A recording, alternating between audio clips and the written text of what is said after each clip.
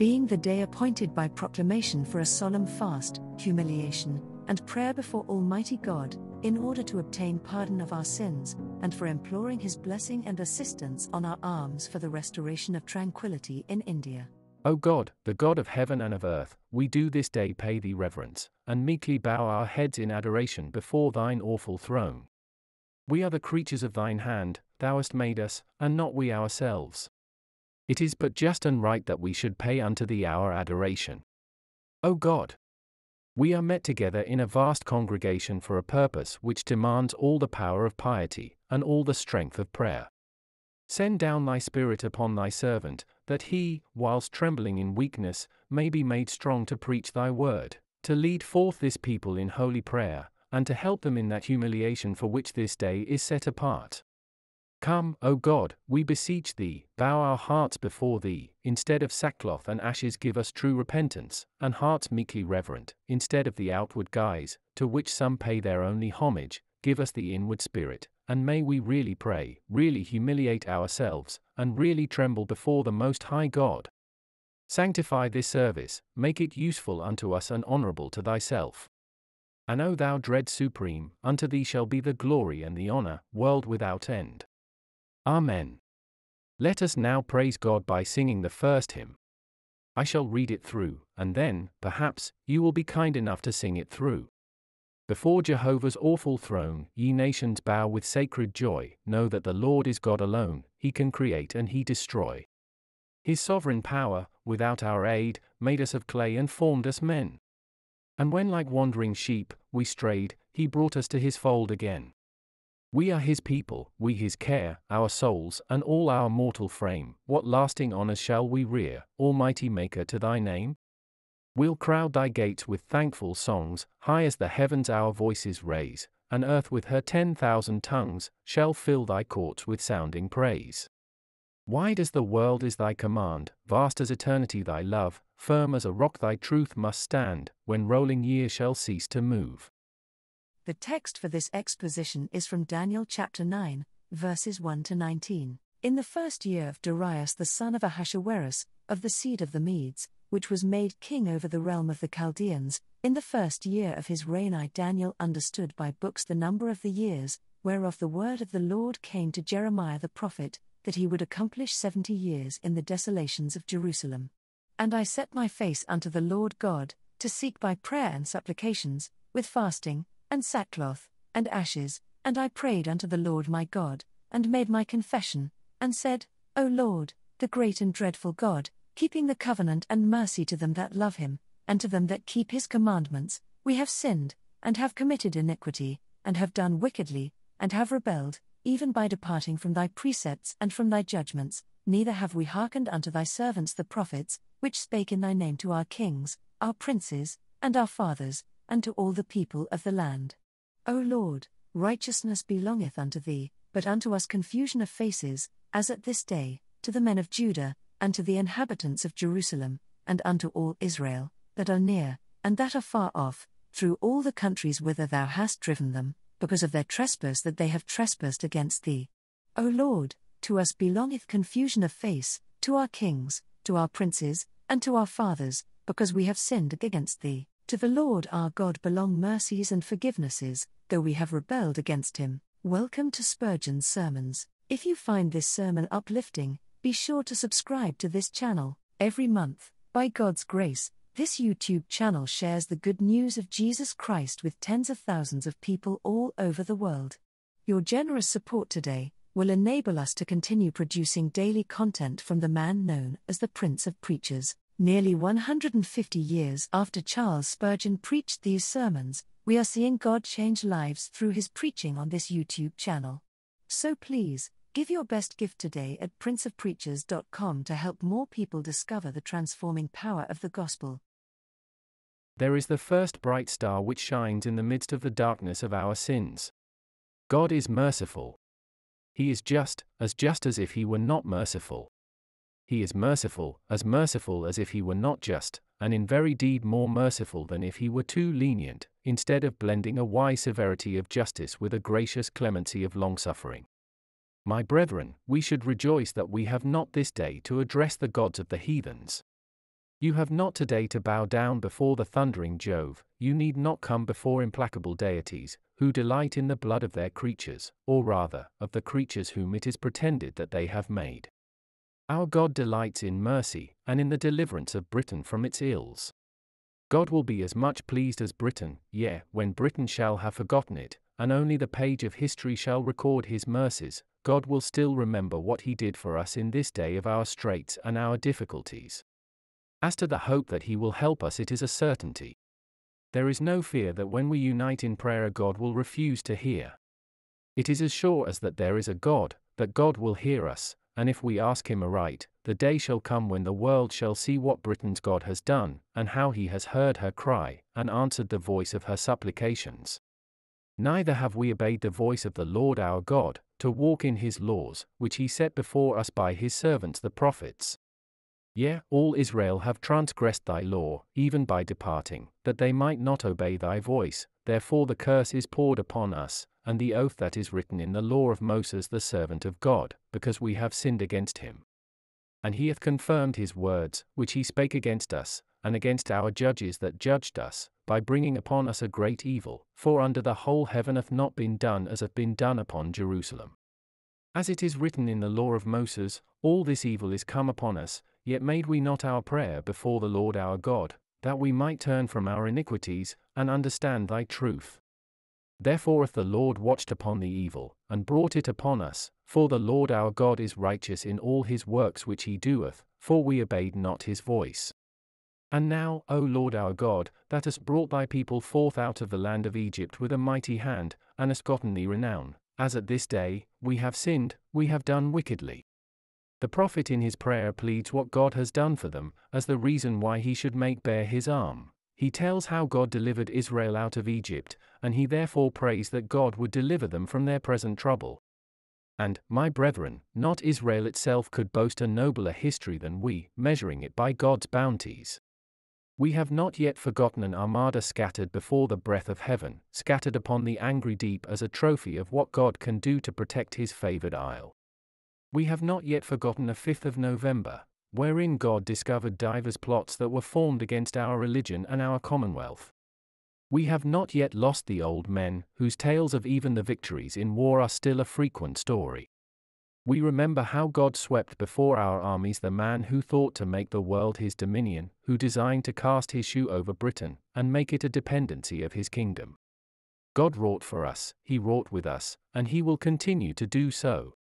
He hath not left his people, and he will not leave us, but he will be with us even to the end. Cradle of liberty. Refuge of distress. Storms may rage around thee, but not upon thee, nor shall all the wrath and fury of men destroy thee, for God hath pitched his tabernacle in thy midst, and his saints are the salt in the midst of thee. O Lord, according to all thy righteousness, I beseech thee, let thine anger and thy fury be turned away from thy city Jerusalem, thy holy mountain, because for our sins, and for the iniquities of our fathers, Jerusalem and thy people are become a reproach to all that are about us. Now, therefore, O our God, hear the prayer of thy servant, and his supplications, and cause thy face to shine upon thy sanctuary that is desolate, for the Lord's sake. O my God, incline thine ear, and hear, open thine eyes, and behold our desolations, and the city which is called by thy name, for we do not present our supplications before thee for our righteousnesses, but for thy great mercies. O Lord, hear, O Lord, forgive, O Lord, hearken and do, defer not, for thine own sake, O my God, for thy city and thy people are called by thy name. And now for a few moments let us endeavor to pray. Our Father, which art in heaven, we will be brief, but we will be earnest if thou wilt help us. We have a case to spread before thee this day. We will tell out our story, and we will pray that thou wouldst forgive the weakness of the words in which it shall be delivered, and hear us, for Jesus' sake. O Father, thou hast smitten this our land, not in itself, but in one of its dependencies. Thou hast allowed a mutinous spirit to break out in our armies, and thou hast suffered men who know not thee, who fear neither God nor man, to do deeds for which earth may well blush, and for which we, as men, desire to cover our faces before thee. O Lord God, thou couldst not bear the sin of Sodom, we are sure thou canst not endure the sin which has been committed in India. Thou didst rain hell out of heaven upon the cities of the plain. The cities of Ind are not less vile than they, for they have committed lust and cruelty, and have much sinned against the Lord. Remember this, O God of heaven. But, O Lord our God, we are not here to be the accusers of our fellow men, we are here to pray that Thou wouldst remove the scourge which this great wickedness has brought upon us. Look down from heaven, O God, and behold this day the slaughtered thousands of our countrymen. Behold the wives, the daughters of Britain, violated, defiled. Behold her sons, cut in pieces and tormented in a manner which earth hath not beheld before. O God, free us, we beseech thee, from this awful scourge. Give strength to our soldiers to execute upon the criminals the sentence which justice dictates, and then, by thy strong arm, and by thy terrible might, do thou prevent a repetition of so fearful an outrage. We pray thee, remember this day the widow and the fatherless children, think thou of those who are this day distressed even to the uttermost. Guide the hearts of this great multitude, that they may liberally give and this day bestow of their substance to their poor destitute brethren. Remember especially our soldiers, now fighting in that land. God shield them. Be thou a covert from the heat. Wilt thou be pleased to mitigate all the rigors of the climate for them? Lead them on to battle, cheer their hearts, bid them remember that they are not warriors merely, but executioners, and may they go with steady tramp to the battle, believing that God wills it that they should utterly destroy the enemy, who have not only defied Britain, but thus defiled themselves amongst men. But, O Lord, it is ours this day to humble ourselves before Thee. We are a sinful nation, we confess the sins of our governors and our own particular iniquities. For all our rebellions and transgressions, O God, have mercy upon us. We plead the blood of Jesus. Help every one of us to repent of sin, to fly to Christ for refuge, and grant that each one of us may thus hide ourselves in the rock, till the calamity be overpast, knowing that God will not desert them that put their trust in Jesus. Thy servant is overwhelmed this day, his heart is melted like wax in the midst of him, he knoweth not how to pray. Yet, Lord, if thou canst hear a groaning heart, which cannot utter itself in words, thou hearest his strong impassioned cry, in which the people join. Lord, save us. Lord, arise and bless us, and let the might of thine arm and the majesty of thy strength be now revealed in the midst of this land, and throughout those countries which are in our dominion. God save the Queen. A thousand blessings on her much loved head. God preserve our country. May every movement that promotes liberty and progress be accelerated, and may everything be done in our midst, which can shield us from the discontent of the masses, and can protect the masses from the oppression of the few. Bless England, O our God. Shine, mighty God, on Britain shine, and make her still glorious Britain. Beautiful for situation, the joy of the whole earth. Lord, accept our confessions, hear our prayers, and answer us by thy Holy Spirit. Help thy servant to preach to us, and all the glory shall be unto thee, O Father, to thee, O Son, and thee, O Holy Spirit, world without end. Amen and Amen. Let us now sing the second hymn. It is made up of verses selected from different psalms, which I thought to be appropriate to the occasion our God, our help in ages past, our hope for years to come, our shelter from the stormy blast, and our eternal home. Under the shadow of thy throne, thy saints have dwelt secure, sufficient is thine arm alone, and our defense is sure. Our foes insult us, but our hope Indiana thy compassion lies, this thought shall bear our spirits up, that God will not despise.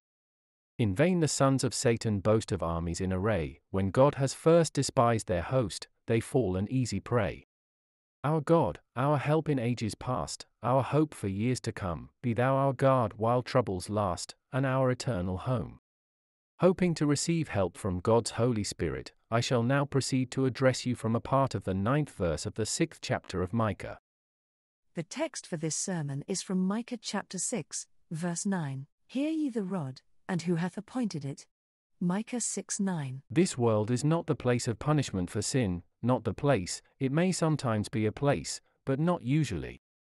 It is very customary among religious people to talk of every accident which happens to men in the indulgence of sin, as if it were a judgment. The upsetting of a boat upon a river on a Sunday is assuredly understood to be a judgment for the sin of Sabbath breaking.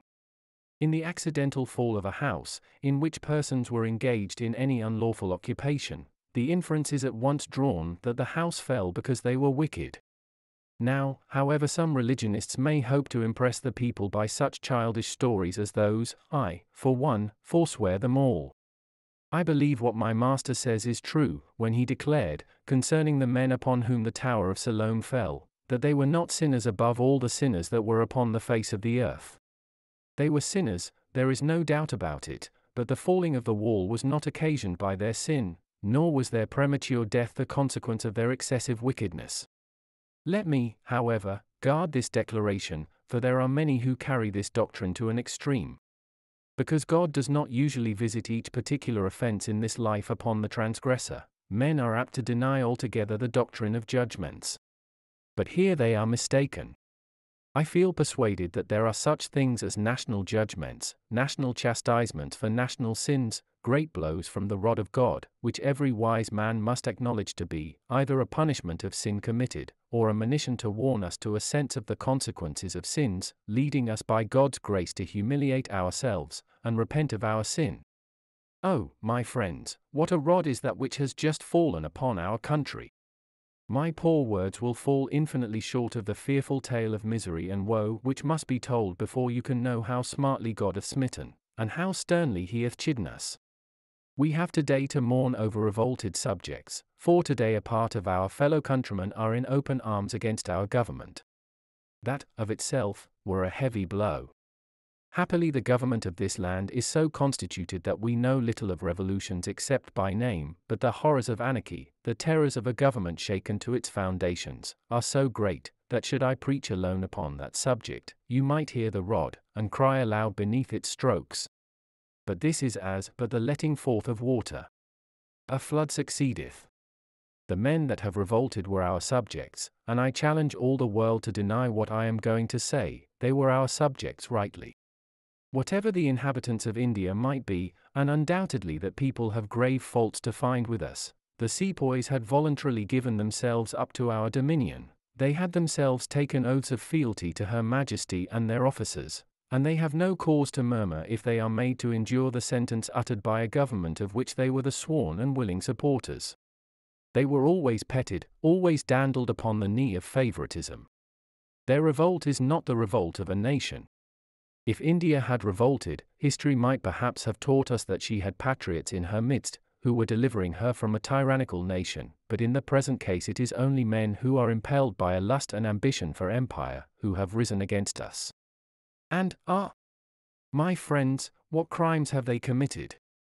Not today shall I detail their acts of debauchery, bloodshed, and worse than bestiality. This tongue will not venture to utter what they have dared to do. You would rise from your seats and hiss me from the pulpit which I now occupy, if I should but dare to hint at the crimes which have been done of them, not in secret, but in the very streets of their cities. And, again, equally as painful, we have now rebels to be executed. I look upon every gallows as a fearful chastisement. I regard every gibbet as being a dreadful visitation upon our land, and I think that whenever the arm of the ruler is outstretched for the punishment of death, it must always be looked upon by the country as a serious affliction to it. Just as the father thinks it a high affliction to chastise his child, so should a country ever esteem it to be a visitation when they have to punish, especially with the punishment of death. Now, these men must be punished, both heaven and earth demand it. I am no soldier, I love not war, I do not believe that this is a war at all, in the proper sense of the term. We are not fighting with enemies, our troops are going forth against revolted subjects, against men who, by their crimes, by their murder, and by other unmentionable sins, have incurred the punishment of death. And as the arrest of a murderer by authority of the law is not war, so the arrest of Indian sepoys, and their utter destruction is not war, it is what earth demands, and what I believe God sanctions. But it is a horrible necessity. It is a dreadful thing to think of taking away the lives of our fellow subjects, we must look upon it as being an affliction, and, today, amongst the other evils that we bemoan, we must bemoan this, that the sword must be taken out of its sheath, to cut off our fellow subjects by their thousands. The rod, the rod, the rod hath indeed fallen heavily, no mortal tongue can tell the anguish it hath caused, nor perhaps can we yet dream where its ill effects shall end. Remember, however, the words of my text. It is a rod, but it is an appointed rod. Every deed that has been done against us has been appointed by God. God is most fully to be cleared from the sin of it, but it is undoubtedly true that he has overruled and permitted it. The rod was ordained of God. I myself see God everywhere. I believe that the foreknown station of a rush by the river is as fixed as the station of a king, and the chaff from the hand of the winnower as steered as the stars in their courses. And I see God in this war. The wheels of providence may revolve in a mysterious manner, but I am certain that wisdom is the axle upon which they revolve, so that at last it shall be seen that God, who ordained the rod, only permitted it that greater good might follow, and that his name might be exalted through the earth. The sin is man's own deed, but the affliction that we suffer through it, God hath ordained. Let us bow before it, and let us now hearken to the exhortation of the text Hear ye the rod, and him that hath appointed it. I shall have your attention whilst as briefly as I can I endeavour to bid you hear this rod of God. First, let me remark, it would have been as well if we had heard this rod before it fell upon us. God's rod by the wise man may be heard before it smiteth. He that understandeth God's moral government, knows that sin carries punishment in its bowels. A wise man believing revelation, could have prophesied that God would visit us. The sins of the government of India have been black and deep. He who has heard the shrieks of tormented natives, who has heard the well provoked cursing of dethroned princes, might have prophesied that it would not be long before God would unsheath his sword to avenge the oppressed. With regard to India itself, I am no apologist for our dominion there. With regard to the sepoys, they are our voluntary subjects, they deserve the utmost rigor of the law.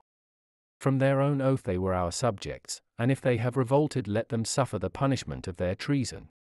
But had it been the Indian nation that had revolted, I would have prayed God that they might have been brought under British rule again, for the sake of civilization, but I would not have preached a crusade against them, lest haply we should have been smiting patriots who were but delivering an oppressed country. My brethren, I say it would have been as well if the rod had been heard before it fell. If in the midst of sin the Indian government had paused, and endeavored to undo the evil, it would have been well for them, if instead of following the policy of creed they had followed the policy of right, they might have looked for divine support. They never ought to have tolerated the religion of the Hindus at all. I believe myself, for it in no way infringes the law of right, entitled to my religion, but if my religion consisted in bestiality, infanticide, and murder, I should have no right to my religion, unless I were prepared to be hanged for it. Now, the religion of the Hindus is neither more nor less than a mass of the rankest filth that ever imagination could have conceived. The gods they worship are not entitled to the least atom of respect. Had they given a decent character to their demons, we might have tolerated their idolatry, but when their worship necessitates everything that is evil, not religion, but morality must put it down. I do not believe that in this land there ever ought to have been any toleration for the Agapemone a place of lust and abomination, where sin is committed before which God's Son might blush, never ought to be tolerated. Any religion that does not infringe upon morality is beyond the force of legislature. But when once religious teachers teach immorality, and when once a religion compels men to sin, down with it, no toleration to it. It is impossible that there should be any quarter shown to vice, even though embellished with the name of religion. If it be any man's religion to blow my brains out, I shall not tolerate it. If it be any man's religion to meet me as the thugs do, and garrote me, and murder me, I shall not tolerate his thuggism. If it be a man's religion to commit bestial acts in public, I for one would touch his conscience, but believing that he has none, I would touch him somewhere else. Such a religion as the religion of the Hindu, the Indian government were bound, as in the sight of God, to put down with all the strength of their hand. But they have allowed it, in some cases they have even aided and abetted their filthy deeds, and now God visits them, and, I repeat, it would have been well if they had heard the rod before it fell, they might have perhaps avoided all this evil, and certainly they would have avoided the remorse which some of them must feel in having thus brought it upon themselves. But it has fallen. The rod has smitten, the scourge has ploughed deep furrows upon India's back. What then? Hear ye the rod that has fallen. Now, it is an opinion published by authority, and who am I, that I should dispute the great authorities of England, that one part of the reason for this dreadful visitation is the sin of the people of England themselves. We are exhorted this day to humble ourselves for sin. Granting me that as being a truth, and mark, I am not the originator of it, it is in the proclamation, who am I, that I should dispute such a high authority as that, it is our sin that has brought it us, so they say, what, then, are our sins? Now, I will be honest with you, as honest as I can, and I will try and tell you. What are the most glaring sins for which, if it be true that God is now punishing us, are the most likely to have brought this visitation upon us? First, there are sins in the community that never ought to have been allowed. O Britain, weep for deeds which thy governors have not yet strength of mind to stop. We have long been allowing the infamous nuisances of Holywell Street, bless God they are pretty well done for. But now what do I see every night? If I return from preaching in the country, in the Haymarket and in Regent Street, what stares me before my eyes? If there be a crime for which God will visit England, it is the sin of allowing infamy to walk before our eyes thus publicly. I do not know whose fault it is, some say it is the fault of the police, it is somebody's fault, that I do know, and against that somebody I do now most solemnly protest. It is a most fearful thing that those who are honest and moral cannot walk the streets, without being insulted by sin in the robes of the harlot. My voice perhaps this day may reach some who have power to repeat this protest powerfully and successfully. I see before me gentlemen who are the representatives of the press, I believe they will do their duty in that matter, and if they will sting as some of them can sting, right sharply, they perhaps may be able to sting a little virtue into some of our governors, and that will be a good thing. But I do protest that this has been one of the causes why God has visited us, if indeed our sins have brought this evil upon us, as I verily believe. Look ye too, men and brethren, at some of those amusements of yours, in which ye are wont to indulge. God forbid I should deny you those of your amusements which are innocent, but I must maintain that they should be always moral, when we know that lords and ladies of the land have sat in playhouses and listened to plays that were a long way from decent. It is time that some voice should be lifted up against them. These are glaring sins. I am not raking now for private faults, we have had these things before our eyes, and there have been some that have dared to protest against them long ago. I say, these sins of the community in part have brought the rod upon us. But, my friends, I am inclined to think that our class sins are the most grievous. Behold this day the sins of the rich. How are the poor oppressed? How are the needy downtrodden? In many a place the average wage of men is far below their value to their masters. In this age there is many a great man who looks upon his fellows as only stepping stones to wealth. He builds a factory as he would make a cauldron. He is about to make a brew for his own wealth. Pitch him in. He is only a poor clerk, he can live on a hundred a year. Put him in. There is a poor timekeeper, he has a large family, it does not matter, a man can be had for less, in with him. Here are the tens, the hundreds, and the thousands that must do the work. Put them in, heat the fire, boil the cauldron, stir them up, never mind their cries. The hire of the laborers kept back may go up to heaven, it does not matter, the millions of gold are safe. The law of demand and supply is with us, who is he that would interfere? Who shall dare to prevent the grinding of the faces of the poor? Cotton lords and great masters ought to have power to do what they like with the people, ought they not? Ah!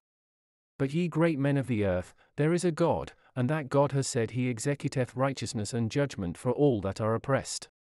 And yet the sempstress in her garret, and yet the tailor in his den, and yet the artisan in his crowded factory, and yet the servants who earn your wealth, who have to groan under your oppression, shall get the ear of God, and he will visit you.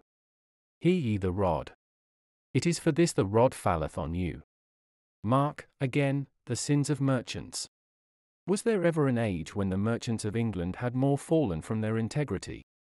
The mass of them, I believe, are honest to the core, but I do not know who among them are so. We can trust none in these times. Ye heap up your companies, and ye delude your myriads, ye gather the money of fools, ye scatter it to the winds of heaven. And when the poor call upon you, ye tell them it is gone, but where? O England, thou wast once true, upright, honest, men could not rightly call thee, then, perfidious Albion, but now, O Britain, alas! For thee. Unless thou dost recover thyself, who can trust thee? God will visit the nation for this, and it shall be seen that this alone is one of the things which God would have us hear, when we hear the rod. There are many of you that are poor. I saw you smile when I spoke to the rich. I will have at you also. If we are to humble ourselves this day as a nation, ye have cause also to humble. Ah, my God, what multitudes there are of men who deserve but little of their employers, for they are eye servers, men pleasers, and do not with singleness of heart serve the Lord. Were men better workmen, their masters would be better. There are hundreds of you that are here today who are the best hands in all the world to prop up walls, when you ought to be busy at your own work, who, when your time is bought and paid for, steal it for something else. And how many there are in what are called the lower ranks, and God forgive the man that invented that word, for we are none of us lower than the other before the judge of all the earth, how many are there that do not know what it is to look up to God, and say, Though he has made me a servant, I will discharge my duty, and I will serve my master and serve my God with all my might. Many are the sins of the poor. Humble yourselves with the rich, bow your heads and weep for your iniquities, for these things God doth visit us, and ye should hear the rod. It is impossible for me today to enter into all the sins of illiberality, of deceit, of bigotry, of lasciviousness, of carnality, of pride, of covetousness, and of laziness which infest this land. I have tried to indicate some of the chief, and I pray God humble us all for them. And now, hear ye the rod. O Church of God, the rod has fallen, and the church ought to hear it. I am afraid that it is the church that has been the greatest sinner. Do I mean by the church that established by law? No, I mean the Christian church as a body. We, I believe, have been remiss in our duty, for many and many a year pulpits never condescended to men of low estate. Our ministers were great and haughty, they understood the polish of rhetoric, they had all the grandeur of logic, to the people they were blind guides and dumb dogs, for the people knew not what they said, neither did they regard them. The churches themselves slumbered, they wrapped themselves in a shroud of orthodoxy, and they slept right on, and, whilst Satan was devouring the world, and taking his prey, the church sat still, and said, Who is my neighbor, and did not arouse herself to serve her God. I do hope that we have already seen the beginning of a revival. The last year has seen more preaching than any year since the days of the apostles. We are stirring in ragged schools, and in various efforts for doing good, but still the church is only half awake, I fear she still slumbers. O Church of God! Awake! Awake! Awake! For verily the rod has fallen for thy sake. Hear thou the rod, and him that hath appointed it. We have had many rods, friends, we have had many great afflictions, and we did bear them for a time, and now I close my sermon by saying, Hear ye the rod, when the rod shall again be still. We trust that in a little while our soldiers will carve us out peace and victory with their triumphant swords. We trust that, perhaps this very day, a great fight is being fought, and a great victory being won. I seem to hear today the shout of the triumphant warrior, I think I hear the trump of victory even now. The hour of prayer is often the hour of deliverance. At any rate, we hope that ere long this black cloud will be overblown, and then I fear you will all forget it. You will pray today, will you pray when victory comes? You will buy some fireworks, will you not? That is how you will thank God. You had a victory over a potent enemy, and peace was established. Your votive offerings consisted of rockets and illuminations, grand offerings to the dread Supreme. If a heathen were here, he would say, Their God is the God of humiliation, not the God of victory, their God is a God of trouble, certainly not the God of blessings, for they forget him when they receive deliverance. I remember, when last time the cholera swept through your streets, ye hurried to your churches, and ye prayed, terror sat upon your countenances, and many of you cried aloud for deliverance. It came. What did you do? Alas! For your piety. It was as the morning cloud, and as the early dew it passed away. It will be so again. It is but as the lashing of the water, it is smitten, but it soon recovers itself, and all marks are effaced. It is so with this land, I fear it is so with each of us to a degree. How often have you and I been laid upon our beds with cholera, or with fever, or with some other disease which threatened to take us away? We prayed, we sent for the minister, we devoted ourselves to God, we vowed, if he would spare us, we would live better. Here thou art, my hearer, just what thou wast before thy sickness. Thou hast forgotten thy vow, but God hath not forgotten it. Thy resolutions were filed in heaven, and in the day of judgment God shall take them forth, and say, Here is one solemn covenant broken, here is another vow forgotten, another resolution made in sickness broken after recovery. I do think that today will be a most solemn mockery if our humiliation ends today. With some of you it will not even begin today, and, therefore, it will not end, for it is not begun. But the mass who will pray today, will they pray in a week? Not they, they will go their way, to heap again the faggots of their sins upon the pile of vengeance, and still stand by and weep, because the fire is burning, the fire which they themselves have kindled. Oh! My hearers, permit me to charge home to your hearts, and would God that He would make the charge of my language against your consciences as heavy as the charge of British soldiery against the enemy. How many of you have been awakened, convinced of sin, of righteousness, and of judgment? How many times have you vowed you would repent? How many times have you declared that you did hear the rod, and that you would turn to God? And yet you have been liars to the Almighty, you have defrauded the Most High, and whilst the bill is due, it still stands dishonored. Tremble. God may smite you yet, and if today you are despisers of Christ, remember, you have no guarantee that you will be in this world another hour. You may before this sun is set stand before your Maker's bar. What then? What then? What then? To perish for ever is no light matter, to be cast into the flames of hell is no little consideration. Turn ye, turn ye, turn ye, why will ye die, O house of Israel? Repent. The times of your ignorance God winked at, but now commandeth all men everywhere to repent. And remember that when he gives repentance and faith, he has appended the blessing to them. Jesus Christ of the seed of David was nailed to a cross, he died that we might not die, and to every believer heaven's gate is open, to every penitent the path to paradise is free. Sinner! Dost thou believe? If so, Christ hath blotted out thy sin. Be happy. Soul! Dost thou repent? Thou art safe. God has helped thee to repent, and inasmuch as he hath done that, he hath proved that he loves thee. Oh! If I might but have some souls won to Christ today, what would I give? What is all this great gathering to me? It is an extra labor, that is all. For this I do not labor. God is my witness, I sought you not, never once have I said a thing to court a smile from any man. When God first sent me to the ministry, he bade me fear no man, and I have not yet met the man to whom I have feared to tell of God's truth. Nor you have I sought to please, nor you have I sought to gather here. I would preach the gospel, may God give me some souls as my reward. And if but one poor sinner shall look to Jesus, clap your wings, ye angels. Enough is done, for God is honored. I have done my sermon, but I want to make an appeal to you to give liberally. Lives there a man in England who will this day refuse his help to those of his countrymen who have suffered? No, there does not live such a man, not such a Briton. Is there a miserable miscreant without a heart, who will, when God has given him enough, shut up his bowels of compassion against those whose sons and daughters have been murdered, and who themselves have escaped as by the skin of their teeth? No, I will not slander you by such a supposition. I cannot think that I have such a monster here.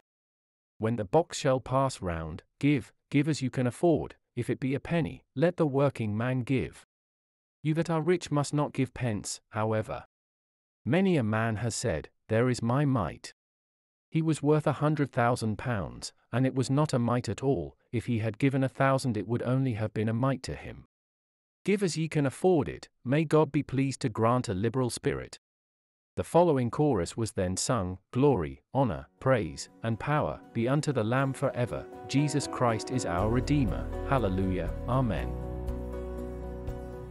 Thank you for listening to this sermon by Charles Spurgeon. This YouTube channel exists to help tens of thousands of people like you encounter God through Spurgeon's preaching every single month. You can help even more people discover the good news of Jesus Christ through Spurgeon's preaching by donating at princeofpreachers.com or by clicking the link in the description below. Subscribe to this channel to dive deeper into the treasury of Spurgeon's preaching, and hit the bell icon so you'll be notified whenever we post sermons and content written by Charles Spurgeon.